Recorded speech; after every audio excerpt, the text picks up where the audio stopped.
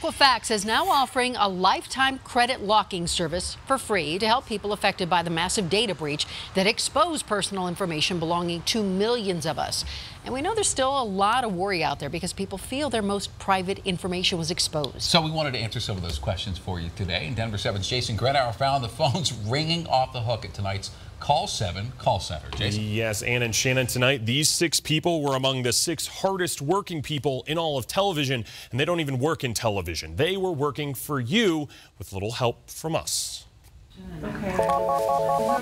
Get your credit. Call 7 call center with CBI. How can I help you? Weeks after Equifax's massive data breach, people get worried, of course. The Colorado Bureau of Investigation came here to Denver 7. We had over 350 calls at least. Taking your questions. These phones have not stopped ringing since 3:30 this afternoon. I have not been off the phone. My phone, my ear hurts. Giving you answers. Get the freeze on all three. Helps protect you against identity so did we give you I can give you that website or phone number. And for those who may have missed it, the main advice these expert call takers gave out get a copy of your uh, credit report. You can do that at annualcreditreport.com. Also, credit alert. Then at that point, you need to make a decision do you want to freeze your credit and go through the steps there.